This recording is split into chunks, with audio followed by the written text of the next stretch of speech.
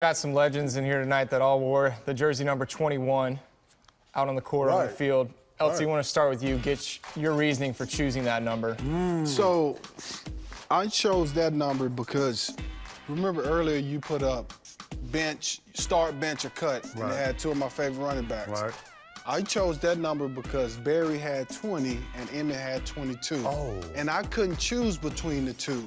So I said, give me 21. I'll go right between them. Hmm. That's how I Okay, came, that's that, that, that's how I came up with that. Because it is 21 night, right? Yeah. Okay. How you pick 21? You know what? You know, growing up in Baltimore, Maryland, I ended up, you know, catching a Greyhound bus going to North Carolina. And that's how my career started. I left home when I was 16.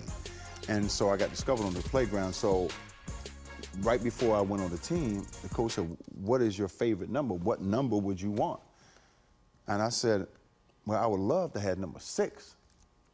He said, Well, hmm. number six is taken. I said, Well, what number is available? He said, There's only one number available. Every, all the other numbers are taken. 21 is the only number, so that's the only number you can choose from. I'm Really? like, well, Wow. that's all I got. I, made I it look I'll good. it. Wow, made it. Made And it. you know what? It, it- it's really amazing because that number has been very special to me. Because matter of fact, people think I got the name the Human Highlight Film in the pros.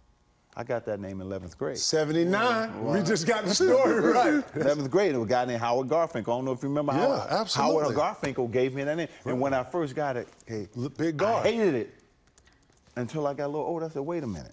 I can make a little money on Right. this Hey, name. You know, there so- it is. Yay, you know, branding. but, uh, and yeah, so it was, um, it was the only number left. That's what's up. How about you? How Yeah, how you did come you- I about was about to say, man, you know, growing up two hours away from him, Greenville, South Carolina, I just told y'all my Dominique story. My mom was a beautician, all this other stuff. So we didn't have a pro team, but, you know, Atlanta, two and a half hours away from the crib. Two people I wore the number behind was this great gentleman right here, Malik Sealy, when he was in college, because I watched a ton of college basketball when we were young, you know, Big East and ACC. I, I come from all that. So um, I was a huge fan of Malik Sealy, dark skin, big old, big old eyes. You know, I, I- you know, I, I, I, I relate to that. Hey, you know, shout to my dog, man. And uh, but yeah, Dominique Wilkins and um, and Malik Sealy was the reason I picked 21, and I've been Wow. counting it ever since, man. Man, that's great. That's great.